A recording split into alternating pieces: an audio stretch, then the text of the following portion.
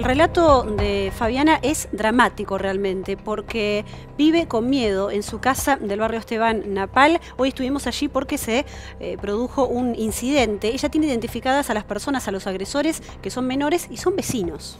Sí, es eh, la verdad que el escenario que nunca quiere una persona que, eh, además de ser robada, asaltada, víctima de inseguridad, después tiene que soportar la represalia de aquellos que le robaron y a los que denunció. Ese escenario que, insistimos, complica y hace que después mucha gente no quiera involucrarse a la hora de pelearle la inseguridad. Hoy estuvimos en Nueva Provincia y España en este operativo donde identificaron a estos menores, seguramente los aprendieron, pero son menores, luego regresan con sus padres. Y conversamos con Fabiana, que nos hacía seña para tratar de difundir esta situación. Ella fue amenazada múltiples veces por estas personas. A su hijo incluso le pusieron un arma en la panza, ¿eh? lo amenazaron poniéndole un arma en la panza cuando iba a la escuela. La situación es crítica y pide respuestas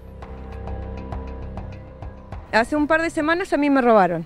Este, yo vi los que me robaron y pudimos recuperar las cosas porque yo los salí corriendo. No me digas cómo hice, tomé coraje, pero los corrí, recuperé mis cosas porque son mías, este, como se dice, y ellos quedaron sentidos en ese sentido de que yo me traje mis cosas y no me las pudieron llevar.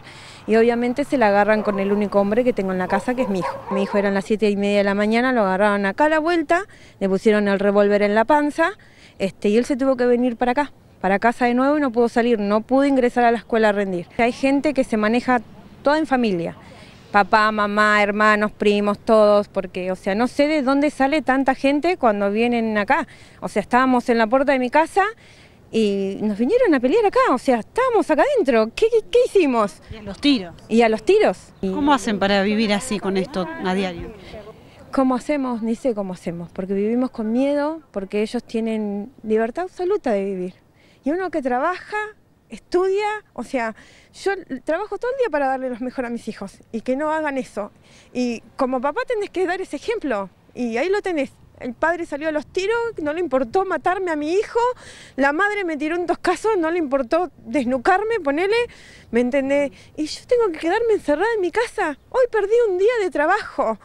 Eh, mi hija perdió un día de cursada, no fuimos a la escuela, tenemos miedo. Recién mi hijo quiso salir y lo salieron a correr. Tuve que volver a llamar al, móvil y ahora están. Y, ustedes que me están haciendo la nota, no puedo vivir más así. No puedo vivir más así. Espero que la justicia, no sé, haga algo, no sé. La verdad que no, no, no, no sé cómo vivir. Eh, por estos momentos lo único que estoy pensando es irme al barrio. Nada más. ¿Y a vos te parece justo yo dejar mi casa? ¿Eh? irme a otro lado alquilar, que no sé qué me va a pasar. Es mi casa, hace más de 10 años que estoy acá.